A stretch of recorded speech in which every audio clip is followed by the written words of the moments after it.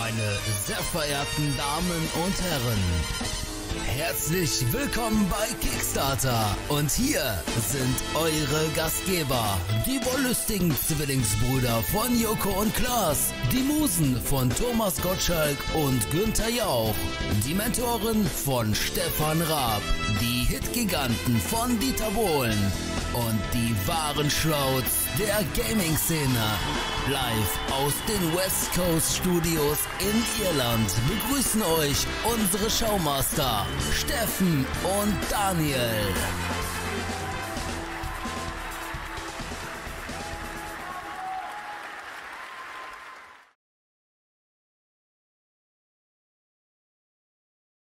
Let's go. Wir sind live auf Sendung zurück mit Andreas Knuff. Willkommen. Äh, guten Morgen.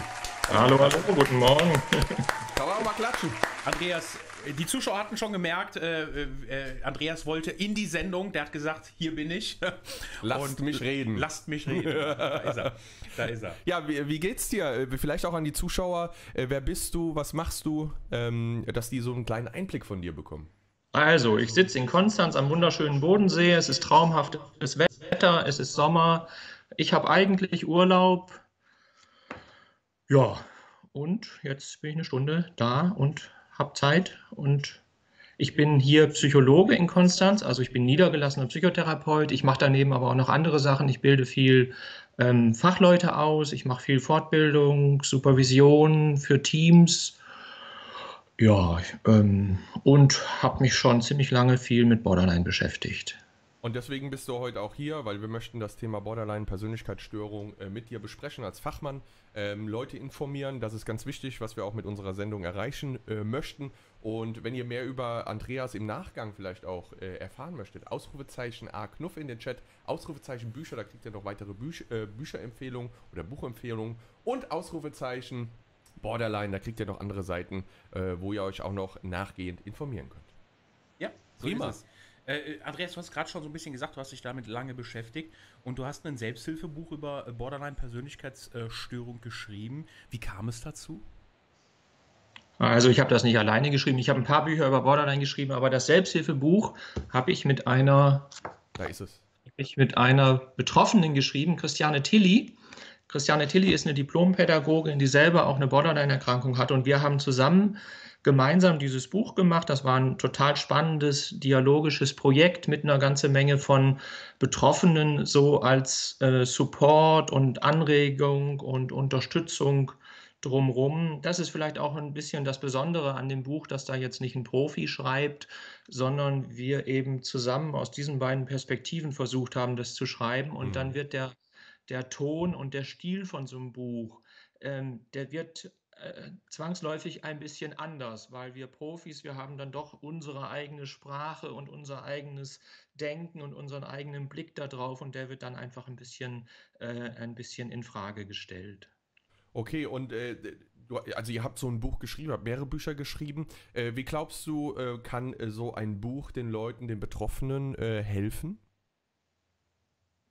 Also es gibt ja unendlich viele Bücher über Borderline Mhm. mittlerweile. Borderline ist in den letzten 15 Jahren so ein In-Thema und Boom-Thema gewesen. Da haben sich so viele Leute äh, mit beschäftigt. Das, was wir gemacht haben, ist, wir haben Selbsthilfemöglichkeiten zusammengetragen. Also das, was die Betroffenen selber tun können. Weil äh, Borderline ist jetzt keine einfache Erkrankung und man ist von morgens bis abends eigentlich mit dieser Thematik beschäftigt. Und wenn man zum Profi geht, eine Psychotherapie macht, dann hat man vielleicht eine Stunde in der Woche Mhm. und dann noch 167 Stunden übrig, wo man da alleine hockt ja, und dann für sich selber gucken muss, wie man damit umgehen kann und was man tun kann, dass man nicht irgendeinen Mist baut oder dass es einem nicht einfach total fürchterlich und unerträglich geht. ne? Okay, ja. Ähm, um vielleicht so ein bisschen, äh, dann sind wir vielleicht auch bei der Erkrankung schon, um so ein bisschen über Ursachen zu sprechen, Andreas. Ähm, ähm, heute geht man davon aus, dass Borderline genetisch beeinflusst ist ähm, ähm, und, ähm, und aber auch von Traumata, so posttraumatischen Dingen begünstigt werden kann. Wie häufig haben Borderliner eine, eine, eine traumatische Biografie?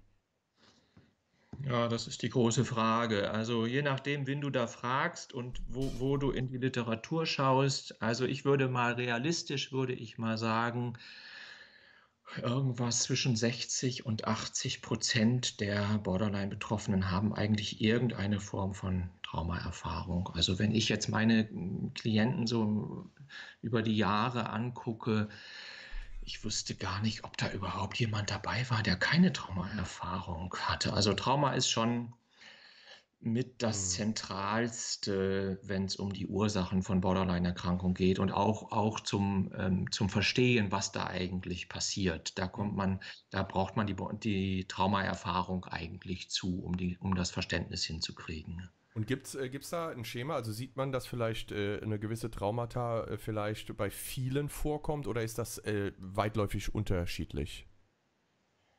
Also ich meine, wenn, wenn man so landläufig von Trauma spricht, was ja oft, oft geht es dann darum, ähm, jemand hat irgendwie einen schweren Verkehrsunfall gehabt oder ähm, eine Kriegstraumatisierung als erwachsener Mensch oder ein Soldat, der in Afghanistan war oder so. Das sind nicht die Traumatisierungen, die Borderline machen. Borderline entsteht durch ähm, frühe Traumatisierungen, muss man eigentlich sagen. Also früh meint die ersten was weiß ich, die ersten zehn Lebensjahre hm. vielleicht. Mhm. Die Zeit, wo wir, wo wir Kind sind, wo wir sehr verletzlich sind, wo wir noch sehr instabil sind, wo wir auf viel Halt von außen angewiesen sind, wo wir darauf angewiesen sind, dass da überhaupt einer ist und dass er nicht ständig wechselt und dass wir dem vertrauen können und dass da nicht irgendwelche ganz fürchterlichen Sachen passieren wie ein sexueller Missbrauch, wo wir dann überhaupt nicht mit umgehen können. Also um solche Traumatisierungen geht es eigentlich. Das kann eine Missbrauchserfahrung sein, das kann emotionale Vernachlässigung sein, das kann Gewalterfahrung sein. Ähm, das kann aber auch einfach Veränderung von Bindungspersonen sein, ähm, frühe Verlusterfahrungen. Ähm, ja, so das Spektrum ungefähr. Mhm. Also es kann viel, also viel, viel Einfluss kann das auch auf den Menschen haben, dass das dann äh, quasi auch dann auslöst, ja. Absolut, ja. Wenn das, wenn das früh passiert, verunsichert dich das einfach maßlos. Mhm. Du bist nicht stabil genug, um ja. das, um das tragen zu können. Ne? Wenn dir zum Beispiel, wenn du zum Beispiel eine Missbrauchserfahrung machst mhm. und jetzt nehmen wir mal einen ungünstigen Fall an, du hast keinen kein Vertrauensverhältnis zum Beispiel zu deinen Eltern. Also du vertraust dich denen nicht an oder du vertraust dich denen tatsächlich an und die sagen, das kann gar nicht sein, das musst du dir irgendwie ausgedacht haben oder so. Ne, dann trifft dich das sehr, sehr tief. Und das ist natürlich anders, als wenn du schon stabil im Leben stehst und 25-jährig erlebst du dann einen schweren Verkehrsunfall und entwickelst dann infolge davon eine posttraumatische Belastungsstörung. Mhm. Das ist etwas anderes als eine Borderline-Erkrankung. Ich habe äh, hier eine spannende Zuschauerfrage. Im Vorhinein haben wir ja äh, gesagt, äh, dass wir äh, vielleicht auch Zuschauerfragen mit einbinden, wenn es passt.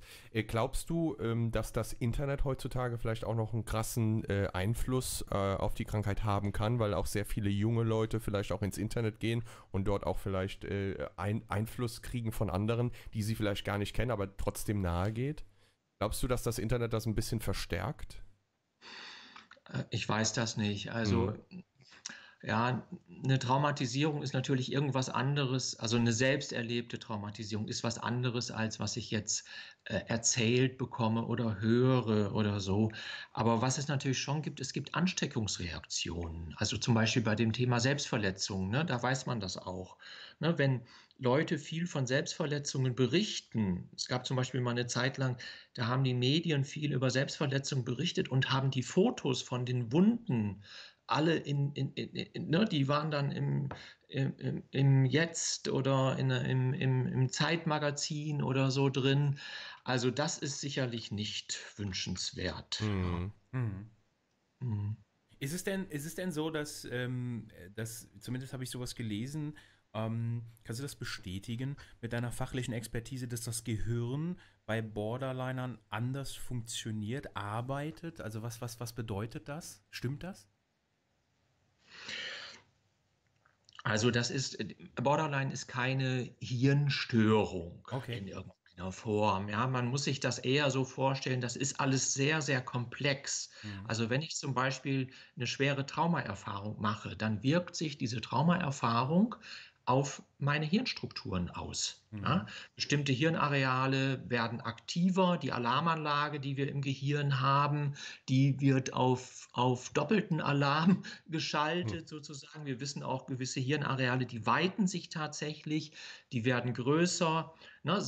Also so spielt das Gehirn da schon mit rein, aber nicht in dem Sinne, dass es da jetzt irgendeinen spezifischen Hirndefekt gäbe, der dann nachher äh, die Borderline-Erkrankung macht. Ne? Mhm. Aber ich habe ja vorhin erzählt, ähm, also Trauma ist, ist echt ein wichtiger, eine wichtige Ursache Mhm. für Borderline, aber man entwickelt keine Borderline-Erkrankung, weil, weil man eine Traumaerfahrung gemacht hat, sondern da kommen eben noch andere Sachen dazu. Ne? Mhm. Und da kann das halt sein, da ist eine gewisse Verletzlichkeit des Gehirns da oder bestimmte zusätzliche biografische Erfahrungen, die da noch mit reinkommen. Ne? Und das zusammen, das macht dann eine Borderline-Erkrankung. Es entwickeln nicht alle Leute eine Borderline-Erkrankung, weil sie, ähm, weil sie eine Gewalterfahrung in der Kindheit gemacht haben oder in der Kindheit ähm, adoptiert worden sind oder so. Ne? Das Mhm. ist nicht, das darf man sich jetzt nicht so eins zu eins vorstellen. Ja. Und äh, es gibt ja eine Diagnostik dazu, also es gibt auch einen Leitfaden, weil man muss das ja auch erkennen. Ähm, wann Borderline, äh, äh, wann, wann jemand Borderliner ist. Ähm, es, gibt das äh, DSM, das äh, Diagnostic and äh, äh, Statistical Manual of Mental Disorders. Kannst du da ein bisschen mehr drüber erklären, wie das abläuft? Also das ist das amerikanische Diagnosesystem, was du da jetzt gerade genannt hast. Es Mhm. gibt zwei. Okay. Es gibt noch eins von der Weltgesundheitsorganisation, das heißt ICD. Das ist das, womit hier im deutschsprachigen Raum gearbeitet Mhm. wird. Die sind aber eigentlich identisch. Mhm. Und man muss sich das, ähm, also das ist eigentlich eine relativ simple Angelegenheit, wie heutzutage diagnostiziert wird. Bei Borderline ist es zum Beispiel so, es gibt neun Kriterien. Mhm. Die sind festgelegt worden von Wissenschaftlern, von Forschern, von Praktikern. Und dann hat man festgelegt, wie viele dieser Kriterien erfüllt sein müssen, damit man offiziell von der Borderline-Erkrankung spricht. Und äh, die haben gesagt, fünf von neun. Mhm. Also es gibt neun Kriterien. Wenn du fünf davon hast, bingo, dann hast du eine Borderline-Erkrankung offiziell. Mhm. Okay. Wenn du vier von diesen Kriterien hast, bist du offiziell gesund. Das ist ein schmaler Grat, ja. Etwas seltsame Geschichte, ne? Ja. So, ja, oder es gibt neun Kriterien, ne? Und fünf müssen erfüllt sein. Da gibt es jemanden, bei dem sind die, sind die ersten fünf erfüllt und bei jemandem sind die letzten fünf erfüllt. Die haben überhaupt nur ein Diagnosekriterium gemeinsam Mhm. und haben offiziell dieselbe Erkrankung. Also das kann man alles schon sehr in Frage stellen. Es gibt auch viele Leute, die das in Frage stellen. Es gibt auch, es hat viel Protest gegen dieses System äh, gegeben. Es hat ein Aufbäumen vor einigen Jahren dagegen gegeben. Forscher wollten ein anderes System und Praktiker. Das hat sich nicht durchgesetzt. Wir arbeiten nach diesem System. Wir werden das auch auch die nächsten 10, 15 Jahre wahrscheinlich noch tun. Also das ist heutzutage so, wie jetzt gerade im, im deutschsprachigen Raum zum Beispiel Borderline diagnostiziert wird. ne? Mhm. Jetzt äh, so mal ein bisschen aus kurz aus der aus der aus der Lebenserfahrung habe ich noch eine Frage, die die die ist mir aufgefallen. Wir hatten das ja, glaube ich, im Vorgespräch hätte ich das erwähnt, dass ich zehn Jahre in der Notfallmedizin aktiv gewesen bin. Und was mir aufgefallen ist, ist, dass ähm, das fehlte mir so ein bisschen vielleicht am Anfang, ähm, dass viele dieser Patienten, du hast es gesagt, also das, die traumatisch, traumatische Erfahrung so in den, in den ersten Lebensjahren stattfindet. Bei der Alters, bei der Altersgruppe der Erkrankten, gerade wenn es dann so vielleicht auch zum Erstansatz der Therapie kommt oder der, der, der erste Kontakt auch zu dir als Psychologe, wenn ich da so zurückdenke, waren viele der Patienten, die ich im Rettungswagen hatte, so in der Altersregion 14 bis 18 unterwegs, wo man dann halt gesehen hat, dass sie sich körperliches Leid haben zugefügt. Ja, also Ja, zum Beispiel ja, ja. die Arme, man, man kennt das, ja, so diese klassischen. Bilder. Äh, Ist, ist das auch dein Eindruck so, dass die Patienten sich in einer, in einer sehr jungen Altersregion bewegen? Also Borderline, das muss man sich so vorstellen, das kriegt man nicht irgendwann mal Mhm. plötzlich sozusagen, sondern wenn man mit den Leuten spricht, die sagen oft, ich habe mich irgendwie immer schon anders gefühlt oder meine Eltern haben schon als Kind mit mir Probleme gehabt, dann sind die in die Erziehungsberatungsstelle gegangen. Oft ist es dann so, zum Beispiel mit 14 kriegt jemand, hat jemand den ersten Kontakt zum Hilfssystem. Da wird, da wird keine Borderline-Erkrankung diagnostiziert, da ist vielleicht eine Depression oder mhm irgendwie heftig mit Drogen oder äh, eine Anorexie, also eine Essstörung, eine Magersucht ja, zum ja. Beispiel. Ne? Ja, so und dann kommen aber noch andere Sachen dazu. Dann hat jemand noch Suizidgedanken oder jemand entwickelt eine Panikstörung. Ja, und bei Borderline ist es so, da, da ist so ein Wechsel von verschiedener Symptomatik da, deshalb, wenn man den Betroffenen zum einen Zeitpunkt sieht, dann denkt man, ah, der hat eine Depression. Dann sieht man ihn drei Wochen später, dann denkt man, ah, der hat eine Panikattacke. Der hat eine Panikattacke. Dann sieht man den wieder sechs Wochen später und denkt, oh, vielleicht hat er ja sogar eine Psychose, weil der berichtet mir von irgendwelchen äh, Halluzinationen, irgendwelchen Dingen, die überhaupt nicht da sind. Ja? Und in Wirklichkeit ist es eine Borderline-Erkrankung, wo diese ganzen verschiedenen Sachen so dazugehören. Aber oft dieses, wie du das beschrieben hast, dieses Auffallen mit 14, 15, 16, wir, man darf da aber die Diagnose noch nicht stellen. Mhm. Bei Borderline, das ist jetzt auch nicht irgendeine Easy-Diagnose. Ja, da ist eine, geht eine gewisse Stigmatisierung mit einher. Die Diagnose darf man offiziell nach dem 18. Lebensjahr erst stellen. Und dann kriegen Leute natürlich, na, dann, dann heißt es halt nicht Borderline-Erkrankung, sondern eben, dann wird halt die Essstörung diagnostiziert oder vielleicht heißt es Verdacht auf Borderline oder so etwas. Mhm. Ja. Und äh, äh wa warum, du hast gerade was Spannendes gesagt, das fragen sich vielleicht jetzt auch die Zuschauer da draußen, warum darf man die erst nach dem 18. Lebensjahr stellen, diese Diagnose? Ja, da gibt es verschiedene Gründe für. Also ich finde das tatsächlich, ich finde das sehr berechtigt. Es wird im Moment aber darüber diskutiert, das aufzulösen. Ja. Es ist zum Beispiel so, dass viel von dem, was Borderline-Betroffene erleben, mhm. relativ ähnlich ist zu dem, was man in einer sehr heftigen Pubertät erleben kann. Mhm. In der Pubertät ist das, kann das auch so sein. Ich bin in der Identität hin und her gerissen. Ich weiß überhaupt nicht, was will ich eigentlich, wen mag ich eigentlich, mit wem will ich eigentlich zusammen sein äh, und so weiter. Meine Stimmung kippt womöglich schnell hin und her. Ich probiere alles Mögliche aus, vielleicht auch irgendwelchen Scheiß dabei, irgendwas, was ich besser nicht hätte machen sollen. Äh, ja, vielleicht habe ich sogar mal Suizidgedanken und denke, ach Mensch, wenn ich tot bin und alle, alle sind dann irgendwie, stehen dann an meinem Grab und bedauern das, wie, wie gemein sie mit mir umgegangen sind oder so, ja. Mhm. So, das ist jetzt nicht, nicht so viel anders wie eine Borderline-Erkrankung. Mhm. Deshalb glaube ich, dass es tatsächlich gut ist, da wirklich vorsichtig zu sein und nicht zu früh diese Diagnose zu stellen. In Amerika wird sie früher gestellt, da gibt man das eher auf. Hier hält man sich eigentlich eher noch an diese Regel, dass man es nicht so früh diagnostiziert. Genau, das hat auch eben gerade ein Zuschauer gefragt, eben, ähm, im, äh, als, als Frage mit den Gefühlsschwankungen, wenn man in der Pubertät ist, genau das, was du ja. auch eben erklärt hast, ähm, war nämlich auch ja. eine Frage tatsächlich. Ich, ich habe auch viele, ja. Äh, viele äh, Andreas, ich habe auch viele Patienten erlebt, die ähm, so ähm, im Gespräch ähm, dann gesagt haben, in dieser kurzen, also das ist ja nur ein kurzer Moment in diesem Rettungswagen, ne? was sind das? 15 ja. Minuten mit so einer Schnelldiagnose zu Hause, das ist ja, kannst ja nicht viel machen. Ähm, aber da, da, hat man auch schon ganz oft dann erlebt, wenn man dann auch vielleicht was gesehen hat, ähm, irgendwelche alten Narben oder so, dass die mal gesagt haben, ja, ich habe das mal einen Moment ausprobiert oder ich wollte mal wissen, wie das ist. Hörst du das auch oft? Also dieses selbstverletzende Verhalten. Das selbstverletzende Verhalten kommt sehr oft vor bei Borderline-Betroffenen. Ungefähr die Hälfte der Leute verletzen sich selber. Ähm, und es kann durchaus auch sein, dass da am Anfang mal wie so ein bisschen experimentiert wird. Ne? Mhm. Ja, aber, aber der Grund für die Verletzung ist, dass da innen drin was in mir ist, was, un, was unerträglich ist. Mhm. Das, das, ist kein Spielchen, das ist kein, ich ritz mal mit dem Zirkel irgendwie rum oder so ja. oder mal gucken, wann das Blut, ob da auch ein Tropfen Blut kommt mhm. oder so, sondern, sondern man, man wird dem nur gerecht, wenn man versteht, da ist ein inneres Leid in einem drin, es fühlt sich innen drin fürchterlich unerträglich an und ich verletze mich selber, um diesen Zustand zu beenden.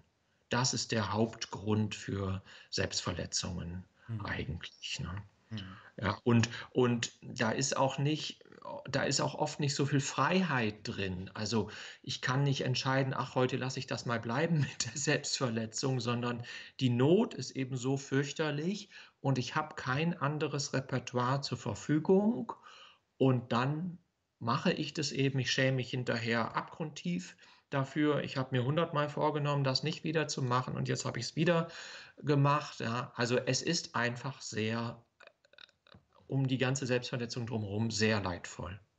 Hm. Hm. Ähm, ich, ich, möchte nochmal zurückgehen auf, äh, äh, auf, das, äh, auf den Leitfaden, ähm, wie man die Kriterien sagt. Du sagst auch, das ist ein schmaler Grad, also du sagst 5 von 9 und dann, wenn man 4 hat, nicht. Ähm, hm. Die Sache ist die, ähm, was ist, wenn man alle 9? Gibt es das? Also wenn man alle neun Kriterien irgendwie, gab es schon mal so, so einen Fall und ist das dann, ist das dann schlimmer zu werten, als wenn einer nur fünf hat? Nee, es geht nicht um die Menge dieser, dieser, dieser Symptome. Mhm. Es geht eher darum, ähm, wie heftig die sind. Also zum Beispiel ein, eines von diesen Kriterien, da geht es um Wut. Ja, heftige, einschießende Wut, die ich nicht kontrollieren kann. Ne? So, und wenn die sehr heftig ist, dann mache ich natürlich Sachen, die einfach hochproblematisch sind. Ja? Ich schreie meinen Chef an und bin meinen Job los. Oder mhm. ich habe keine Beziehung, die länger als drei Tage hält, weil, weil, weil dann meine Wut da ist. Oder äh, ich, ich kenne überhaupt niemanden länger als ein halbes Jahr, weil ich es mir äh, ganz schnell mit allen möglichen Leuten verscherze. Ne? Also mhm. da, ne, das wäre eine Heftigkeit, die hat massive negative Folgen, die wird Folgekomplikationen mit sich bringen. Ne? Äh, oder, oder auch Selbstverletzungen. Ne? Es gibt sehr schwere Selbstverletzungen, die können tödlich enden. Mhm. Ja, es gibt auch sicherlich Borderline-Betroffene, da spricht man von einem Suizidversuch, den jemand gemacht hat und er verstirbt dann bei diesem vermeintlichen Suizidversuch. Und in Wirklichkeit hat es sich vielleicht um eine Selbstverletzung gehandelt. Mhm. Und wenn ich richtig schwere Selbstverletzungen mache, dann, dann kann ich mir si ziemlich sicher sein, das Leid, was dahinter steht und das bewirkt hat, das ist nochmal einfach besonders stark hm. gewesen. Ne? Und, ja.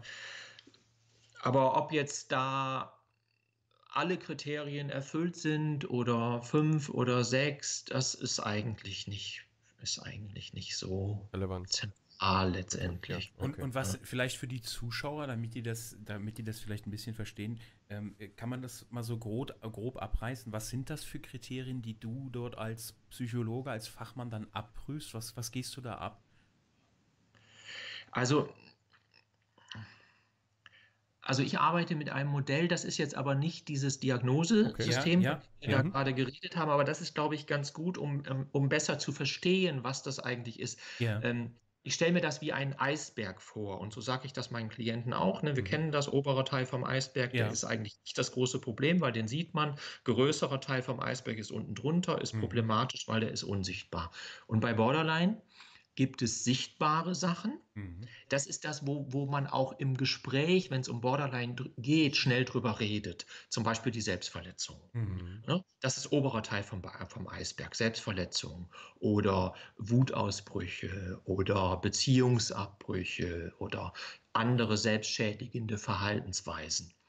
Und schnell denkt man, das ist Borderline. Aber in Wirklichkeit gibt es was unten drunter, was diese sichtbaren Symptome sozusagen erst, ähm, erst bewirkt, was die Ursache davon ist. Und das ist zum Beispiel ein ganz tiefes Gefühl von Leere, von mich selber überhaupt nicht spüren, von nicht wissen, wer bin ich eigentlich, von mich innen drin sehr haltlos fühlen, ein Erleben von Grauen, von Unverbundenheit, Leere, Isolation, heftigste Gefühle, die sehr schnell wechseln und die irgendwann nur noch zu einem Empfinden von Anspannung und Druck werden. Ich kann ja gar nicht mehr sagen, ich bin traurig oder, oder ich schäme mich oder so, sondern es ist nur noch Druck und Anspannung da. Mhm. Ja. Und das ist eigentlich Borderline. und in diesem Diagnosesystem, da wird der obere Teil vom Eisberg und der untere Teil vom Eisberg, das wird meiner Meinung nach komplett durcheinander geworfen. Mhm. Da sind einige Diagnosekriterien, die beschreiben den oberen Teil vom Eisberg, also den, die Bewältigungsversuche. Mhm. Und dann gibt es andere, die beschreiben den unteren Teil vom Eisberg, also die eigentliche Problematik. Mhm. Aber über die eigentliche Problematik, zum Beispiel ein Empfinden von Leere oder ein Empfinden von Grauen, ist es viel schwieriger zu sprechen als jetzt zum Beispiel über eine Selbstverletzung. Mhm. Deshalb ist leider oft auch eben, ne, dann wird zum Beispiel Borderline gleichgesetzt mit Selbstverletzung. Mhm, ja. ne? Äh, und dann gibt es einen Klienten, da, der verletzt sich plötzlich nicht mehr selber, aber es ist eben überhaupt nicht so, dass er keine Borderline-Erkrankung mehr hat. Der ja. macht vielleicht was anderes dann, um dieses unerträgliche Gefühl loszuwerden. Ne? Mhm. Und deshalb ist das so, was so in der, in, der, in der Öffentlichkeit oft so diskutiert wird, eben zum Beispiel das mit den Selbstverletzungen. Ähm, das ist eigentlich sogar ein bisschen problematisch, weil man, weil man Borderline nicht versteht, wenn man sich sagt, das sind doch die, die sich selber verletzen, sondern man wird Borderline verstehen, wenn man sich fragt, warum verletzen die sich denn? Was ist ja. denn das? da unten drunter. Ne? Ja. Das ist, und das ist, das muss man erstmal kapieren. Ja. Das, das, ist bei, äh, das ist aber auch bei vielen ähm, äh, psychologischen Erkrankungen, so wenn man dem Volksmund so ein bisschen zuhört, ne? wenn man selbst so ein bisschen in der Medizin tätig war und wenn man mal so bei Oma am Tisch sitzt am Sonntag, weißt du, und wenn die dann wieder irgendwie so erzählt von, was weiß ich, irgendwie was aus der Umgebung erzählt, dann äh, dann wird halt immer das, das, was man sieht, das wird beurteilt und da heißt es ja, der ist ja, der hat ja, eine, der hat ja die und die Erkrankung. Äh, ja. Und ähm, aber da fehlt das Verständnis, dass man da dass das eine intensive Arbeit ist, da auch mal zu schauen, was ist denn da früher oder posttraumatisch passiert, ja? ja und wie ist ja. es dazu gekommen? Kann das vielleicht auch der schwere Verkehrsunfall mit Fatih damals gewesen sein oder ja. was auch immer, ja? Das ist ja, ja. oft so, oder? Ich finde, dass ich in der, in der, Redaktion mit der Redakteurin, die auch dieses äh, Thema ausgearbeitet, äh, ausgearbeitet hat, vielen Dank nochmal, habe ich auch ähm, mit ihr gesprochen, habe gesagt, da steckt viel mehr dahinter und viele tun das einfach nur abwickeln auf diese Selbstverletzung. Aber da, ja. da, da steckt ja viel, viel mehr dahinter, was auch die Auswirkungen hat. Ja, und das ist eben das, worum es eigentlich geht, ne? dass dieses Verständnis dafür, warum jemand das macht, dass das nachvollziehbar wird. Weil sonst sind die Borderline-Betroffenen Aliens. Mhm. Ne? Mhm. Das, das, wie, wie, wie kann das sein, dass man, dass man sich selber verletzt und, und was weiß ich, sogar bis auf den Knochen schneidet, weil das machen manche Borderline-Betroffene. Mhm. Mhm. Tatsächlich. Das ist für jemanden, äh, für, für die meisten Leute ist das nicht einfühlbar. Das klingt verrückt. Ne? Ja. Und dann geht das mit der Stigmatisierung los, ne? weil dann ist die Idee, die sind anders als wir. Ja. Das ist blanker Unfug. Die sind nicht anders. Ne? Die Borderline-Betroffenen haben etwas in einer starken Ausprägung, was wir alle in einer milden Ausprägung auch kennen, was wir in der Pubertät erlebt haben. Manche Sachen, die Borderline-Betroffene haben, haben wir in, in der frühen Kindheit äh, erlebt, was wir in eigenen emotionalen Hochstresssituationen erleben, weil dann sind wir nämlich vielleicht auch schneller an unserer Wut dran als normalerweise. Ne? Mhm. Ja, das ist alles einfühlbar, das ist alles einfühlbar, nachvollziehbar. Ähm, das ist logisch, das folgt einer inneren Logik. Ja. Ne? Nur man muss diese Sprache halt verstehen und das ist ein bisschen komplizierter. Und ich habe da selber auch ganz schön lange gebraucht und im Studium habe ich das nicht kapiert. Mhm. Weil das uns, da haben wir die Diagnosekriterien gelernt. Abgearbeitet, ja. Ja, ja abgearbeitet. Ja. Ne? Also da lernst du die Diagnosekriterien für eine Prüfung auswendig. Da mhm. hast du nichts vom inneren Erleben ähm, verstanden. Ne? Und dann denkst du dir nur, also das sind aber echt ganz schön schräge Leute. es dauert auch, das zu verstehen. Du sagst gerade was, du hast bei mir so einen kleinen, äh, so, so einen kleinen Backflash äh, gerade ausgelöst. Ich hatte eine Situation, äh, an die kann ich mich sehr wohl erinnern. Ähm, da ging es darum, dass ein Patient, äh, es ist nicht passiert, aber es ging, da ging darum, dass ein Patient ähm, äh, mit Suiz also in suizidaler Absicht ähm, ähm, von einem Balkon springen wollte, ja. Und wir standen dann da unten, die Feuerwehr kam, kennst du wahrscheinlich das ganze Prozedere, dann mit, mit, da mhm. versucht man vorzubereiten. Und äh, ich habe unten immer wieder gehört, dass einige Kollegen gesagt haben, äh, aus, dem, aus diesem Rettungseinsatz, ähm, der schreit nur nach Aufmerksamkeit. Wenn der wollte, wäre der schon längst gesprungen. So, ne? Das wurde unten äh, im Kollegium leise immer wieder geflüstert. Und dann äh, im, im Rahmen dieses Einsatzes kam dann irgendwann äh, der betreuende, ähm, ich glaube, das war der betreuende Psychologe. Ich bin mir da sehr sicher. Und der hat gesagt, äh, dieser Patient ähm, hat sich noch nie selbst verletzt, ist aber Borderline erkrankt. Ja, also, ja. Da, und das, das, wo du das gerade erzählt hast, der hatte sich auch, ich, mir fiel gerade diese Aussage ein, wie er gesagt hat, er hat sich noch nie selbst verletzt, aber er ist Borderline erkrankt. Und da haben auch ganz viele geguckt, sogar viele Kollegen aus der Notfallmedizin gesagt haben, ja, aber das sind doch die, die immer, weißt was ich meine, ne? So, und das mhm. war, das war so ein, äh, ich fand das sehr spannend, was du gerade gesagt hast, weil das hat gerade so eine kleine Erinnerung ausgelöst. Der stand halt wirklich dort und, ähm, ja, wollte, wollte in suizidaler Absicht da irgendwie ja, ähm, am Ende des Tages ist nichts passiert, er hat es nicht gemacht. Ähm, ähm, aber, ja. aber, es ist sehr spannend, ja. ja. Und weil er ist da halt nicht äh, zum Unterhaltungsprogramm auf den Balkon, sondern nee, natürlich es ist irgendetwas fürchterliches innen drin gewesen. Und ich erlebe das auch unter Fachleuten oft, diese, diese, zum Beispiel gibt es bei vielen Fachleuten eine negative Haltung Borderline-Klienten mhm. gegenüber. Ja, also zum Beispiel Chirurgen. Ja. Ne, weil die Borderline-Klienten verletzen sich selber, wenn die Verletzung heftig ist, müssen sie in die chirurgische Notfallambulanz. Mhm. So, da werden sie wieder zusammengenäht. Und der Chirurg ist wirklich nicht freundlich zu denen. Ne? Der sagt, Sie waren doch letzte Woche auch schon da. Da habe ich Sie doch schon mal zusammengenäht. Jetzt kommen Sie schon wieder. Jetzt hören Sie mal endlich mit dem Scheiß auf oder, mhm. oder irgendwie so etwas. Ne? Auch, auch, leider auch, kann ich dir sagen, auch ähm, im Rettungsdienst sehr oft erlebt, dass das, mhm. ähm, das Rettungs äh, weniger muss ich sagen, das ist jetzt, ich will jetzt keinen Beruf schützen oder so, also weniger, dass es aber von den Rettungsdienstern selbst war, viel mehr ganz oft von Notärzten, dass die gesagt mhm. haben, so jetzt komme ich hier für, also mal wirklich im Kollegium gesagt haben, jetzt muss ich hier für so ein Killefits raus, ja. ja. Woanders ist jetzt gerade irgendwie, keine Ahnung, ne, eine Reanimation, da wäre ich, da würde ich viel, also diese, dieser Ansatz, den du da gerade schilderst, ähm, ist, ähm, äh, es ist, ja, es ist traurig, ne, es ist macht sich, äh, also dieses Unverständnis vielleicht auch für diese Erkrankung ist nicht nur irgendwie beim, beim, beim Volksmund so, sondern auch mhm. im, in, unter, und im Fachkollegium, ja, das ja. muss man sagen. Und, und die Folgen für die Borderline-Betroffenen, die sind natürlich heftig. Ne? Mhm. Zum Beispiel, wenn Borderline-Betroffene Psychotherapeuten suchen, mhm. was die sich da manchmal anhören müssen. ja, okay. Also bis zu, ich will mit diesen Borderlinern nichts zu tun haben oder, ne, ja, das ist fachlich alles nicht, es ist fachlich alles nicht haltbar. Das ist eigentlich einfach nur eine Stigmatisierung, aber das hat natürlich wieder massive negative Folgen für den Borderline-Betroffenen. Weil zum Beispiel fast alle Borderline-Betroffenen haben einen total wackeligen Selbstwert. Die, mhm. die innen drin das Empfinden ist, also jetzt mal ein bisschen übertrieben formuliert, das Empfinden ist, ich bin eigentlich ein Stück Dreck. Ja. Mhm eigentlich, gar kein Recht, auf dieser Welt zu sein oder ich habe gar kein Recht, mit äh, irgendwas äh, für mich in Anspruch zu nehmen oder so. Sich total minderwertig, schlecht zu fühlen, äh, zutiefst beschämt zu sein, oft auch, da geht dann der Selbsthass nachher daraus hervor, der dann zum Beispiel zu den Selbstverletzungen führt. Ne? So, und dann hat der Betroffene das sowieso schon. Und wenn dann noch die negative Zuschreibung von außen kommt, ne, dann verstärkt sich das ja alles nur noch. Ja. Und das ist zum Beispiel auch im Netz zu finden. Mhm. Also es gibt im Netz auch viel richtig Schrott über Borderline mhm. betroffen.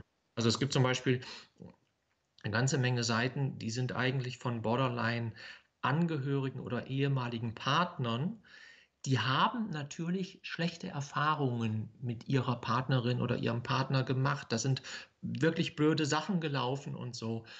Ja, aber dann wird da manchmal die Wut rausgekotzt ja. und ins Netz gestellt, ja, und irgend, irgendjemand anders findet das dann ja und liest das, ja. Mhm. Der Borderline-Betroffene selber oder irgendein anderer Angehöriger oder so. Mhm. Und da ist echt nichts mit gewonnen. Das, das schafft echt alles nur Leid. Ne? Viele, viele im Chat schreiben auch gerade, das Unverständnis von den äh, Leuten, wenn man sich Hilfe sucht oder generell das auch anspricht, ist das Schlimmste, sagen viele im Chat zumindest. Ja, dieses, ja, dieses ja. nicht zu also dass Leute einen einfach nicht verstehen. Ja, ja. was ihnen und da müssen wir Profis uns auch echt an die eigene Nase fassen, weil das, da, da, da läuft eine Stigmatisierung auch von professioneller Seite. Ja. Mhm ich, ich, in der Bevölkerung, ich erlebe gar nicht so viel Stigmatisierung gegenüber Borderline-Betroffenen. Das ist anders als jetzt meiner Schizophrenie. Da, da gibt es eine gesellschaftliche Stigmatisierung. Mhm. Ne? Bei Borderline erlebe ich das nicht so. Aber bei Fachleuten oft ganz schön viel. Jetzt auch nicht, weil das jetzt irgendwie böse Leute sind oder so, mhm. ja, sondern die haben auch wiederum, die haben schlechte Erfahrungen gemacht, die waren selber überfordert, die haben in Settings gearbeitet, in denen sie den Klienten nicht wirklich helfen konnten. Ich habe das selber auch mal, äh, mal erlebt. Ne? Und dann kommt einfach diese negative Haltung zustande und irgendwann mal diese Haltung, ich habe keinen Bock auf Borderline-Klienten und lass mich doch in Ruhe mit denen. Aber dann potenziert sich diese, dieser Selbsthass, diese Selbstverurteilung, dieser, diese Scham, ne, die ist dann innen drin und von außen wird sie halt auch nochmal gefüttert. Und äh, vielleicht, wenn wir äh, nochmal auf das äh, selbstverletzende Verhalten zurückgehen, wenn man vielleicht nicht verstanden wird äh, von, wenn man Hilfe sucht und man wird nicht verstanden, ist vielleicht auch das Selbstverletzende dann vielleicht ein Hilfeschrei? Dass man dann sagt, hey, ich möchte die Aufmerksamkeit, verstehe mich doch endlich? Also da, vielleicht die Frage ja. nochmal spezifiziert. Was mich dabei interessieren würde, ist, es gibt ja den Volksmund, der oft sagt, mhm. der, der Ritzer, jetzt mal ja. dieses böse Wort, ja, der ja. Ritzer, der ritzt sich, weil er schreit nach Aufmerksamkeit. Der andere sagt wiederum, er tut es, weil nach dem Leid, was er innerlich, äh, was er innerlich fühlt, kommt der Endomorphine Ausstoß mhm. und dann geht es ihm ein bisschen besser. Wie, wie, wie, wie siehst du das als, als Fachmann? Was, kann man das klassifizieren? Das muss man sich halt genauer angucken, weil es gibt einfach verschiedene Gründe für die mhm. Selbstverletzung. Ne? Mhm. Und, und ähm, die, die, also meine Erfahrung ist, die meisten Gründe haben nichts mit den anderen zu tun. Mhm. Also ich verletze mich, weil ich will, dass der andere sich so und so verhält, dass der verständnisvoller ist oder so etwas, sondern die meisten Gründe, da geht es ums innere Erleben. Mhm. Also da geht es darum, eine Spannung loszuwerden ähm, oder ein Selbsthass entlädt sich oder ich spüre mich überhaupt nicht mehr. Mhm. Und die Selbstverletzung ist einfach die beste Möglichkeit, die es überhaupt gibt, um diese fürchterlichen Zustände zu verändern. So, dann kann es aber auch sein, dass ich irgendwann mal gelernt habe, oh, wenn ich mich selber verletze, dann passiert ja was im Außen, dann reagieren die Leute. Ja? Mhm. Ne, da bin ich zum Beispiel auf einer, jetzt nehme ich mal einen Extremfall, auf einer psychiatrischen Akutstation. Und da ist nicht nur eine Borderline-Betroffene, sondern da sind vielleicht gerade drei Borderline-Betroffene. Und die Mitarbeiter haben keine Zeit. Und irgendwann lerne ich, oh, wenn ich tiefer schneide als die anderen beiden, oh. dann haben die auf einmal Zeit. Mhm. Dann ist auf einmal jemand für mich da. Dann hört auf einmal jemand zu. Ja? Mhm. So, und das macht natürlich was mit mir. Nur das ist eher so ein, wie so ein sekundärer Prozess. Ja? Ich glaube, der primäre Prozess ist bei den allermeisten Leuten dieses, es fühlt sich innen drin fürchterlich an und die Selbstverletzung ist die beste Möglichkeit, die ich habe, um diesen fürchterlichen Zustand zu beenden. Mhm. Hm. Wie, oft hast du da ähm, aus Erfahrung, bleibt es denn bei Androhung für, auch wenn man sich selbst verletzt, ähm, manche drohen das ja auch nur an, dass ich mich jetzt, also ich ritze mich jetzt, ich will, ich will die, ich, ich oder ich habe Suizidgedanken, ich bringe mich um. Bleibt es denn bei diesen Androhungen oder, oder sind doch die Selbstverletzungen sehr oft äh, dann äh, zu sehen und vielleicht auch die Suizidfälle, ähm, äh, sind die sehr hoch bei Borderlinern? Oder wie, wie hast du das in deiner in deiner Laufbahn jetzt mitbekommen? Also zum Beispiel die Suizidhäufigkeit bei Borderline ist etwa 7%. Mhm. Das ist natürlich schon ganz schön heftig. Ja. Also ne, 7% bedeutet von 100 Betroffenen, die irgendwann mal die Diagnose Borderline gekriegt haben, versterben sieben aufgrund eines Suizidversuchs. Ne, mhm. man, man, die, die, Wahrscheinlichkeit für Borderline man, man, weiß das nicht so ganz genau, also ist etwa 1,5 Prozent. Ja, ne, dann haben wir in, in, Deutschland vielleicht 1, was haben wir dann 1,2 Millionen Menschen, ne? so 7 Prozent davon, das sind 100.000 Menschen, oder? Habe ich jetzt richtig gerechnet? Ja, versterben im Laufe ihres Lebens. Ja, an, an einem Suizidversuch, den sie in, in der Folge von einer Borderline-Erkrankung machen. Das ist natürlich schon ganz schön viel. Aber bei anderen psychischen Erkrankungen äh, ist die Häufigkeit teilweise noch höher. Also zum Beispiel bei der Depression sind es etwa 10 Prozent, bei den Psychosen sind es etwa 10 Prozent. Also bei Borderline ist Selbstverletzung und Suizid auch Suizidandrohung ein sehr zentrales Thema, mit dem ist man ständig beschäftigt. Mhm. Aber es ist eben nicht so, dass jetzt die Borderline-Betroffenen sich jetzt irgendwie viel häufiger umbringen würden, als jetzt, ähm, als, als jetzt andere Menschen mit psychischen Schwierigkeiten das tun. Ne? Nur, versteht mich nicht falsch, ich will das jetzt nicht bagatellisieren, weil sieben Prozent, ich meine, ja. jeder Einzelne ist eine Katastrophe, oder? Ne? Was ist das für eine Riesengruppe, die, die da ähm, ähm, am, am, Suizid dann verstirbt? Ne? Mhm. Um, ähm, wir hatten das heute schon in der Sendung, du hast das auch ähm, so, ein bisschen, du, so ein bisschen erwähnt. Ähm, um auch von dem Bild wegzukommen, also der Borderliner ist nicht immer nur irgendwie der, der, der sich da ritzt, ja, oder sich selbst Leid zufügt. Was gibt es für verschiedene, für verschiedene Ausmaße von, von Borderline? Was hast du da so in deiner, in deiner Zeit als Psychologe gehabt an Fällen? Patienten? Ja, es gibt alle möglichen Ausprägungen. Also, also sehr viele Borderline-Betroffene kommen sicherlich außer in Krisensituationen mit ihrem Leben und ihrem Alltag alles in allem doch relativ gut zurecht. Mhm. Also ne, die studieren, die machen eine Ausbildung, die arbeiten, ähm, die Partnerschaft ist oft eher instabil, also mhm. da kann es nicht jetzt das Übliche, dass es jetzt eine ganz lange, lange Beziehungen gibt oder so. Aber, aber liegt es vielleicht ähm, auch am Verständnis auf der anderen Seite, nicht damit umgehen zu können? Also am Partner, weißt du, auf der anderen Seite, dass der Partner vielleicht da nicht das Verständnis für die Krankheit auch so hat, ist das schwierig für den Gegenüber? Ich glaube nicht in erster Linie. Ich glaube, es ist tatsächlich, also ähm, hm, also das, das, was für den Borderline-Betroffenen selber schwierig ist, hm. ja. wird der Partner schon sehr mit hineingezogen. Ja. ja? Also zum Beispiel, hm, wenn du mit einem Borderline-Partner zusammen bist, du weißt nie, wie die Stimmung am nächsten Morgen ist. Mhm. ne, du, kannst, du kannst gut im Kontakt sein, du kannst dich sehr verbunden fühlen miteinander, du kannst einen schönen Abend gehabt haben und am nächsten Morgen ist absolute Katastrophe. Mhm. Und nur noch Weltuntergangsstimmung und, und man wird beschimpft, ähm, der Betroffene will mit einem nichts zu tun haben oder so. So, und das kann dann aber drei Stunden später schon wieder komplett anders sein und man macht einen netten Ausflug miteinander, miteinander oder so. Und wenn das jetzt nicht zwischendurch mal ist, sondern sehr oft ist und, und, und gerade in den sehr, sehr aktiven Lebensphasen von Borderline, ja. ja da ist es auch sehr viel, mhm. dann wird es einfach extrem anstrengend. Es ist für den Betroffenen extrem anstrengend.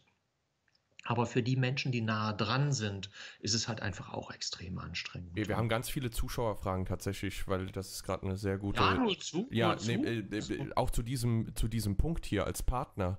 Wie sollte man ja. als Partner am besten da, ähm, da dran gehen und vielleicht auch, also wenn man das merkt, was ist die beste Herangehensweise, äh, weil manche fühlen sich dann natürlich auch überfordert, ja. Und dann kommt es vielleicht auch zu diesen kurzlebigen Beziehungen, die, die dann vielleicht auch, äh, weil der Partner vielleicht auch nicht mehr kann und dann geht man auseinander. Wie sollte man sich als Partner verhalten? Hm. Also das ist schon echt eine, eine Sache, da, da, könnte man jetzt eine ganze Sendung drüber, drüber machen. Ne? Also der, der Partner, der, der, muss, der sollte möglichst liebevoll bleiben und möglichst gut abgegrenzt sein. Mhm. Und das ist ganz schön schwierig. Da muss man schon ganz schön gut in sich selber ruhen, dass wenn jetzt zum Beispiel die Partnerin total im Drama drin ist, dass man dann zum Beispiel sagen kann, du, ich krieg mit, dir geht's nicht gut, aber ich lass mich da jetzt nicht hineinziehen und du hast mich jetzt hier ein paar Mal angemault und sogar angeschrien und lass uns jetzt mal einen halben Tag auseinandergehen. Äh, nicht, dass das hier noch schlimmer wird. Also das muss man erstmal hinkriegen, sondern die Gefahr ist total groß, dass das halt eskaliert und dass sich das so äh, zusammen aufbaut. Ne? Mhm. Ähm, ich spreche immer von liebevoller Klarheit. Also eine wohlwollende Haltung dem anderen gegenüber beizubehalten und gleichzeitig klar zu sein. Und diese Klarheit, die verlieren wir oft. Wir, man wird schnell, man wird schnell verstrickt. Ja? Man versteht selber nicht mehr, was sollte ich denn jetzt machen? Was ist denn da jetzt? Äh, ist es tatsächlich so dramatisch, wie der andere das erlebt? Oder ist es nur eine Innenperspektive? Es gibt ein sehr gutes Buch dazu, Schluss mit dem Eiertanz mhm. heißt das. Das kann ich wirklich allen Angehörigen empfehlen. Da gibt es Infos Es ist von einem, von einem amerikanischen Autorenpaar. Da gibt es Infos über Borderline, aber ganz viel auch über dieses, wie verhalte ich mich denn eigentlich sinnvoll. Und der Titel Schluss mit dem Eiertanz, der passt sehr gut, weil viele Borderline-Angehörige fühlen sich wie bei einem Eiertanz. Also das meint, äh, ich kann es nicht richtig machen, ich kann ja. auf den Eiern nicht tanzen. Also egal wie ich es mache, es ist ein Drama, es ist eine Katastrophe, es endet in Chaos. Ne? Und, und das betrifft nicht nur jetzt irgendwie den Partner oder so. Ne? Ich, ich kenne auch ähm, Borderline-Angehörigengruppen. Da kommen WG-Mitbewohner. Mhm. ja, die sind jetzt noch nicht mal in einem freundschaftlichen, in einem wirklich richtig, das sind jetzt nicht gute Freunde, das ist nicht der Partner oder mhm. so, aber ich komme so, kann so in diese Dynamik mit hinein geraten als WG-Mitbewohner, dass ich dann sogar bereit bin, in die Borderline-Angehörigengruppe zu gehen, weil ich händeringend nach irgendwelchen, nach irgendwelchen Ideen suche, äh, wie ich mich da eigentlich, wie ich mich da eigentlich verhalten kann. Ne? Mhm. Wir haben äh, auch einen Chatbefehl mit Büchern. Ich glaube, Schluss mit dem Eiertanz ist äh, nicht dabei, aber Ausrufezeichen Bücher, Leute, da könnt ihr euch auch nochmal ähm, dort informieren. Ausrufezeichen Borderline, da gibt es noch verschiedene Seiten, wo ihr auch nochmal reinlesen könnt und äh, für unseren äh, Gast Ausrufezeichen A Knuff. Da könnt ihr euch auch gerne noch weiter informieren. Da gibt es auch noch Bücher von, von äh, Andreas hier.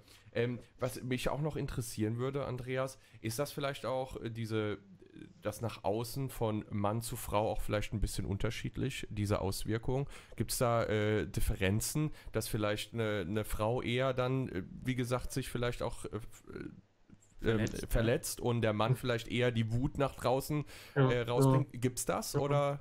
Ja, das, das ist das Typische. Ne? Also es heißt immer, in, in den Gefängnissen sind viele Borderline-Betroffene. Ich weiß nicht genau, ob das stimmt. Ich bin auch kein Wissenschaftler, da müsste man dann mal die Studien äh, genau sich angucken. Aber es ist genau das, was du da vorhin beschrieben hast. Die Aggression, die Wut, der Hass, der Selbsthass richtet sich bei vielen Frauen eher nach innen, das ist dann die Selbstverletzung, und bei vielen Männern eher nach außen, das ist dann die Aggression nach außen. Dann komme ich irgendwann mal mit dem Gesetz in Kontakt, mit, der, mit der Justiz in Kontakt. Ähm, und man weiß auch, dass die Suchtproblematik bei den Männern stärker ist. Also mhm. man könnte jetzt zum Beispiel die These haben, dass mh, zum Beispiel eine Borderline-Betroffene eher auf einer klassischen Borderline-Station landet, wenn es eine akute Krisensituation gibt und ein Borderline-betroffener Mann unter Umständen eher in einer Suchtklinik ist, weil die, ähm, weil, weil, weil die Suchtproblematik so stark ist oder der Drogenkonsum. Mhm. Oder so, ne? Ja. Mhm. Äh, ich korrigiere übrigens, das Buch ist doch mit aufgelistet. Das ist das vorletzte Buch in der, in der, in der Reihe im Chat, Leute. Einfach ja. draufklicken, ja? Du hast was Spannendes gesagt, das hatte ich eben im Chat gelesen und das war mir auch noch so ein bisschen bekannt äh, aus, aus, der, aus der damaligen Zeit im Beruf, aber ich wollte es nicht sagen, du bist da der Fachmann. Ähm, ähm, wir haben das heute sehr oft so ein bisschen zwischen den Zeilen herausgehört. Du hast es aber gerade nochmal sehr schön gesagt, also Borderline für die Leute da draußen, dass man das greifen kann, kann auch die, kann auch die, die Sucht nach etwas ganz anderem sein. Also nicht nach der Selbstverletzung, sondern äh, man kann vielleicht auch jemanden haben, der das irgendwie alles mit Alkohol erdrückt, äh, aber dennoch, ja, ja. dennoch Borderline erkrankt ist, ja, weil ja. das ist, ja.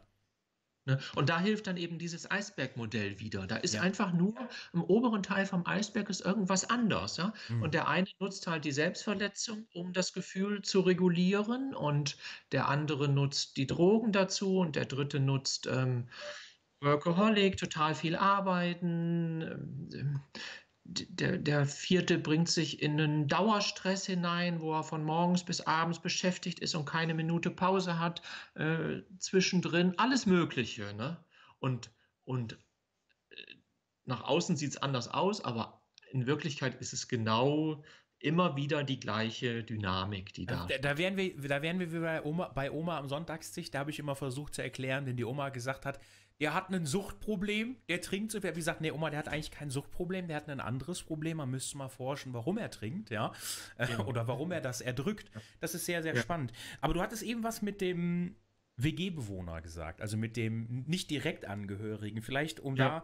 da wieder so ein bisschen in, die, in diese Richtung zu kommen. Wenn ich jetzt sehe oder vermute, dass sich jemand, dass jemand erkrankt ist, für, den meist, für die meisten Menschen ist, wenn wir von Borderline reden, das haben wir heute gehört, diese typische Verletzung. Mhm. Ähm, für, für, den, für den Mediziner, für den Fachmann, für dich ist es nicht das Typische, aber es gehört vielleicht bei dem einen oder anderen Patienten mit dazu. Aber wenn ich sowas als, als, als Angehöriger oder als Mitbewohner, wenn ich sowas sehe oder entdecke, wie gehe ich am besten damit um? Wie gehe ich mit dem Gegenüber um? Oder wie kann ich vielleicht, kann ich überhaupt helfen? Sollte ich das tun? Du, du, du, sagst jetzt, wenn jemand sich selber verletzt zum Beispiel. Genau, wenn ich wenn das ich, sehe, wenn ich der Mitbewohner bin und ich entdecke bei meinem Mitbewohner, da stimmt irgendwas nicht. Weißt du, da ist irgendwas. Wie gehe ich, gehe ich an, auf ihn zu oder hole ich externe Hilfe dazu? Was, was wäre der richtige Weg? Liebevolle Klarheit, ne? Sprich ihn offen darauf an, sag, was dir aufgefallen ist, sag, dass du ihn gerne unterstützen möchtest, dass es ihm besser geht. Und ich meine, das Erste ist immer klar, ähm, Borderline geht nicht von alleine weg. Hm. Also da kann man nicht warten. Ne? Das hat man früher gedacht, Aging out, das altert sich irgendwie, ne? wie eine Pubertät altert sich das irgendwann mal aus. Nee, ähm, denkst du, so ist es nicht. Ne? Borderline ähm, geht nicht von alleine weg. Borderline braucht eine Unterstützung. Äh, deshalb ist die Empfehlung total klar, hol dir, hol dir Hilfe, hol dir eine Unterstützung. Ähm, ja, und dann kommt es halt darauf an, dass die, die, Betroffenen sind sehr unterschiedlich. Ja, zum Beispiel die allermeisten holen sich gerne Hilfe, weil mhm. sie merken, es ist fürchterlich für mich, es ist unerträglich für mich und ich erfahre eine Erleichterung, wenn ich jemanden habe, mit dem ich darüber reden kann und von dem auch noch noch äh, noch ähm, äh, Anregungen bekomme. Ne? Dann mhm. gibt es eine andere, deutlich kleinere Gruppe, die die weigert sich total, sich mit Borderline zu beschäftigen. Ne? Also ich lasse, würde dann vielleicht reagieren, ich lasse mich doch von dir hier nicht so äh, diagnostizieren oder so, ich habe das nicht, du spinnst doch selber oder irgendwie so etwas. Aber das ist die deutlich kleinere Gruppe. Die meisten sind eigentlich froh um eine Unterstützung. Hm. Ne? Hm. Ja, und äh, sagen wir mal, ich habe jetzt niemanden, ich wohne auch alleine, ähm, ich bin auch alleine und habe wirklich niemanden. Ähm, und ich merke das aber an mir. Gibt es irgendwelche Sachen, sollte ich direkt, wo sollte ich mich dran hinwenden, was sollte ich tun? Ähm, Gibt es persönliche Strategien vielleicht auch? Ja. Wie ich mich davon, weißt du, von dem Gefühl lösen kann, dass ich jetzt vielleicht irgendwas Dummes machen möchte? Ja, Zeig's kannst du gerne nochmal zeigen, nee, bitte? Noch mal, Zeig gerne nochmal das Buch. Ja, also, äh, natürlich, es gibt ganz viele Selbsthilfestrategien, nur, ähm, also, ich meine, so toll ich das finde, wenn jemand das Buch kauft, mhm. ähm, ähm, Borderline geht nicht weg durch Selbsthilfe. Das muss man ganz klar sagen. Das Selbsthilfe ist eine Unterstützung. Jeder, der glaubt, ich kriege das irgendwie selber in den Griff, ich werde mich da jetzt einfach mehr zusammenreißen und dann werde ich das mit den Selbstverletzungen schon nicht mehr machen oder was es dann jeweils ist, dem würde ich sagen, forget it. Das mhm. funktioniert. Das funktioniert äh, so nicht. Du brauchst einfach äh, eine Unterstützung. Ne? Und natürlich, man kann ganz viele äh, Strategien lernen. Ja? Ähm, zum Beispiel, wenn sich jemand selber verletzt, das, das Blöde ist, ähm, zum Beispiel die Narben, die dadurch entstehen, gehen nie wieder weg. Das ganze weitere Leben jeden Sommer bin ich mit der Frage konfrontiert, traue ich mich kurzärmlich auf die Straße zu gehen, in der Partnerschaft, beim Thema Sexualität. Immer ist es da, weil die Narben so sichtbar sind. Mhm. Deshalb ist es gut, alles, was man tun kann, zu tun, damit es möglichst wenig Selbstverletzungen gibt. So, das ist einfach so. Ne? So, und da sind, da sind eine ganze Reihe Strategien entwickelt worden. Zum Beispiel vielen, vielen Betroffenen helfen sehr starke Sinnesreize. Mhm. Man nennt das Notfallskills, ja.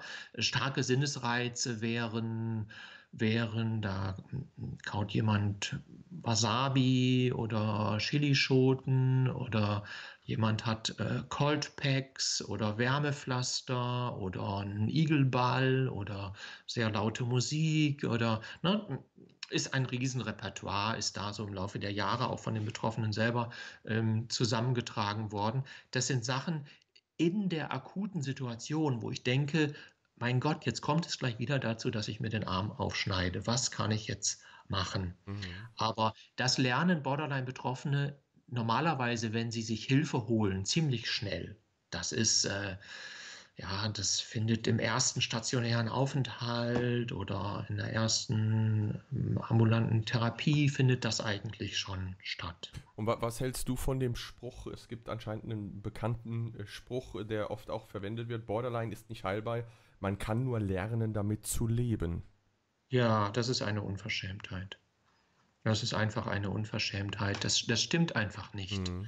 Ich habe das auch noch gelernt. Uns hat man im Studium, ich habe im Studium noch gelernt, bei Borderline, da können Sie, hat man uns jungen Psychologiestudenten beigebracht, da können Sie froh sein, wenn es nicht noch schlimmer wird. Okay. ja. Mhm. Äh, nee, ähm, man hat lange den Borderline-Betroffenen nicht helfen können, aber nicht, weil den Borderline-Betroffenen nicht zu helfen ist, sondern weil die Techniken nicht vorhanden waren. Ja, und heute haben wir die Techniken und es gibt eine ganze Reihe Studien, die zeigen das auch. Es ist nicht so, dass ich jetzt mein ganzes Leben mit diesem unteren Teil vom Eisberg rumlaufen muss. Mhm. Ne? Ja, also dieser, dieser Spruch, man kann nur lernen, damit zu leben, das wäre ja wieder oberer Teil vom Eisberg. Man macht da irgendwas, dass es halt nicht zu der Selbstverletzung kommt. Ja, und damit muss man sich dann halt abfinden, dass das unerträgliche Gefühl immer noch da ist. Aber nee, auch der untere Teil vom Eisberg, der kann anders werden. Also ich kenne eine ganze Reihe von Borderline-Betroffenen, also die diese Diagnose mal gekriegt haben, die jetzt sagen würden, Borderline spielt in meinem Leben keine große Rolle mehr. Mhm. Ich komme im Leben gut zurecht.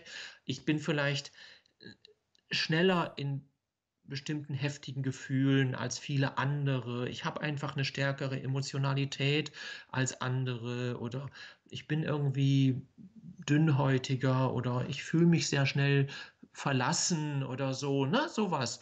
Aber nicht in dem Sinne, dass das jetzt mein Leben beherrscht und total leidvoll für mich ist, sondern mhm. eher in dem Sinne einer ja, von individueller Unterschiedlichkeit, die wir Menschen halt haben. Ne? Ja. Habe ich auch einige Menschen kennengelernt, äh, die genauso wie du jetzt gerade beschrieben ähm, ähm, diese Erkrankung äh, hatten. Und äh, da hat man sozusagen auch das, das Posttraumatische, würde ich mal sagen, aufgearbeitet. Und äh, ja, ja. Ähm, die, hat, die hatten das, die sind emotional vielleicht ein bisschen schneller angegriffen, aber genau. die leben sehr gut und machen auch, äh, machen auch ähm, ähm, keine typischen Krankheitsdinge mehr, die, aus, die der Krankheit zuzuschreiben sind. Ja, ja. Also das ja. habe ich auch so kennengelernt. Das heißt, die Erfolgschancen einer solchen Therapie sind auf jeden Fall gegeben. Also Patienten kann bei, bei, bei, bei Diagnosestellung, wenn man sagt, das ist die Erkrankung, kann man diesen Patienten helfen. Ja, aber jetzt sage ich ja, aber. Ja. ja, äh, weil es braucht bestimmte Bedingungen ja. dafür. Ne? Und die Bedingung ist vor allen Dingen, es geht eigentlich darum, eine gute Psychotherapie zu finden. Es gibt keine Medikamente, die gegen Borderline wirken. Ja, eine gute Psychotherapie zu finden und sich dort auf einen längeren Prozess einzulassen. Borderline ist nicht wie Panikattacken, wo ich 15 Stunden zum Psychotherapeuten gehe und dann tauchen die Panikattacken entweder gar nicht mehr auf oder ich kann gut damit umgehen. Ne? Borderline ist eine schwerwiegende Erkrankung, ist eine Erkrankung, die in der Regel recht früh beginnt, die die ganze Persönlichkeit auch betrifft. Das ist nicht einfach nur irgendeine Eigenschaft oder so, mhm. die nicht durch irgendeine schnelle Zauberei weggeht. Also wenn man das irgendwo liest, ja, was weiß ich, Hypnose gegen Borderline oder so, das, das, das kann man alles vergessen. Aber wenn man einen Therapeuten findet, wo man wirklich andockt, und sich da auf einen längeren Prozess einlässt. Und das ist oft nicht einfach. Da wird es auch Phasen geben, wo man keinen Bock mehr hat und wo der einen nervt und wo man abbrechen will. Und der Therapeut wird auch zwischendurch genervt sein, weil die Borderline-Klientin nämlich nicht immer kuschelig nett ist oder so, sondern auch, auch ähm, ganz schön Drama machen kann und so. Mhm. Aber wenn die beiden, wenn, wenn die so ein Team, so ein Tandem bleiben und miteinander ringen und das eine längere Zeit machen, dann ist die Chance, auf eine Genesung ziemlich hoch. Und jetzt kommt noch eine Einschränkung und der Therapeut sollte sich mit Borderline gut auskennen. Mhm. Also nicht zu irgendjemandem gehen, sondern genau nachfragen, wie viel Erfahrung haben Sie schon mit Borderline? Haben Sie eine Borderline-Zusatzqualifikation äh, gemacht? Wie sehen Sie Borderline überhaupt? Ne? Ähm, es muss auch nicht jeder Therapeut mit Borderline-Klienten arbeiten. Hm. Für manche passt das nicht so. Ja. Aber wenn diese Bedingungen erfüllt sind, dann ist die Wahrscheinlichkeit, dass, dass man sich deutlich stabilisieren kann, die ist mhm. sehr groß. Mhm. Aber ganz schnell, können wir vielleicht eins, fest, ganz eins festhalten, an dieser Stelle sage ich das immer bei medizinischen Themen, weil jetzt kommen vielleicht gleich ganz viele Leute, die sagen, naja, aber es ist schwierig, einen Psychologen zu finden, der äh, das noch fachlich behandelt und dann auch noch Zeit hat, Termine frei hat. Ja. Können ja, wir sagen, ja. sollte jemand in einer Situation sein, wo er denkt, dass er Hilfe braucht, ähm, wo er, wo er äh, vielleicht auch den ersten Weg nicht findet. Es gibt immer die Möglichkeit auch, das hatten wir auch im Vorgespräch, hatte ich dir das gesagt, immer auch, äh, ich glaube, in allen Ländern dieser Welt die 112 zu rufen, dann kommt erstmal der Rettungsdienst, das sind auch ganz liebe Jungs, die fahren einen definitiv zu einer zu einer entsprechenden Zielklinik, wo zumindest der Erstaufnahmekontakt, auch wenn es nicht der spezialisierte Fachmann ist, findet da sozusagen die Erstaufnahme statt, damit demjenigen zumindest kurzfristig erstmal zumindest ein bisschen Gehör ja. geschenkt wird. Das ist, glaube ich, der richtige ja. Weg. Weil viele sagen immer, ich finde keine Termine, ich sitze alleine zu Hause und ähm, und mir hilft eh kein Schwein. Das ist ja eh das Gefühl, mhm. was sie prägt. Also ich glaube, da kann man sagen 112 und da kann man immer zumindest den Erstkontakt, den Erstaufnahme erfahren. Ja, ja. Ja. Und es gibt ja jetzt seit einiger Zeit, die niedergelassenen Psychotherapeuten müssen so eine Sprechstunde anbieten. Okay. Also wo man kurzfristig, also nicht mit langer Wartezeit, zumindest mal einen Ersttermin bekommen muss. Ja, so. Und, und den kann man in Anspruch nehmen. Mhm. Das heißt ja noch nicht, dass man da jetzt nächste Woche mit der Psychotherapie beginnen kann oder so, aber da hat man zumindest mal einen Erstkontakt zu einem Helfer ja. gehabt. Ne? Ja. Ja.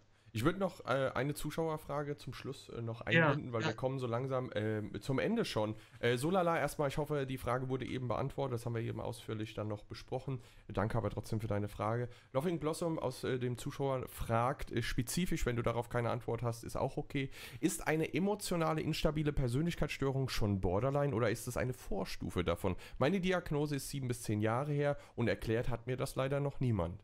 Weißt du da Ja, es ist einfach, nur ein, ist einfach nur ein anderer Begriff. Okay. Also, also was wir jetzt hier als Borderline-Erkrankung bezeichnen, heißt offiziell emotional instabile Persönlichkeitsstörung vom Borderline-Typus. Da gibt es zwei verschiedene Typen und einer ist der Borderline-Typus. Also wenn man die Diagnose emotional instabile Persönlichkeitsstörung bekommt, dann ist es in den aller, aller, allermeisten Fällen ist es das, wo wir jetzt hier äh, drüber gesprochen haben. Ja. Ich hoffe, das mhm. beantwortet die Frage. Ich möchte aber auch noch festhalten, jeder hat mal schwere Zeiten im Leben, ja. Jeder hat vielleicht auch mal äh, eine Phase, wo es einem nicht so gut geht, ja. Man sollte sich nicht gleich klassifizieren, dass man Borderline hat oder irgendwie eine Krankheit, äh, Erkrankung. Ich glaube, man muss da differenzieren definitiv. Ich glaube, das kam auch durch bei der Sendung heute, weil ich habe auch im Chat gesehen, viele haben gesagt, oh, ich habe ja auch solche Symptome. Aber es gibt einfach mal Phasen im Leben, wo man vielleicht sagt, oh, heute geht es mir nicht so gut oder heute habe ich auch mal Wut. Jeder hat mal Wut, ja. Vielleicht. Also also ich weiß noch, als ich im Studium diese Diagnosekriterien zum ersten Mal gehört habe, dann habe ich rote Ohren gekriegt. ja. Und habe gedacht, Moment mal, das kenne ich doch alles auch, mhm. weil einer milden Ausprägung kennen wir das ja auch alle. Deshalb, deshalb nicht, nicht, wenn man jetzt da hier äh, äh, die Sachen gehört hat und einiges passte, nicht denken, man hat eine Borderline-Erkrankung. Wenn, wenn es einem nicht gut geht, dann ist es gut, sich Hilfe zu holen und zu gucken, was ist denn da eigentlich los bei mir. Ja? ja. Aber die, die Symptome, die zu Borderline dazugehören, die sind so nah an normal menschlichem Verhalten und Erleben dran. Ja, mhm. dass man da echt vorsichtig sein muss mit, mit, mit irgendwelchen zu schnellen äh, Pathologisierungen. Ne?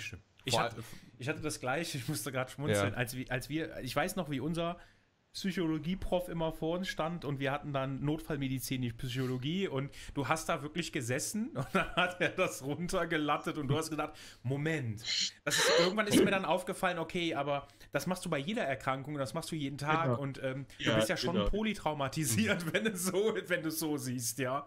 Ähm, ja. Das war schon, das ist. Ähm, ja, und, und das ist ja so tragisch, dass in den Ausbildungen, dass man uns da nicht gesagt hat, Leute, das gehört zum Leben dazu und jetzt lasst uns doch mal offen darüber reden, Hm. was, Ja. was, wir, alle, was wir alle kennen und so. Ne? Sondern man sitzt dann da mehr und, und versucht irgendwie unsichtbar zu werden, weil man befürchtet, dass die anderen einem das jetzt ansehen können, wie nah man da dran ist an dem, was da geschildert wird. Und erst wenn man dann nachher mit den anderen redet, dann merkt man, denen ging es ganz genauso.